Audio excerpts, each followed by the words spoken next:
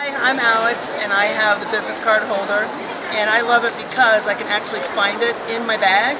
It's bright and it's lots of colors and when you have a dark bag and you can't find anything, it pops right out and I've gotten lots of compliments and I can hold a lot of cards as well. So I thank Casauri for helping me find my business card in a timely manner.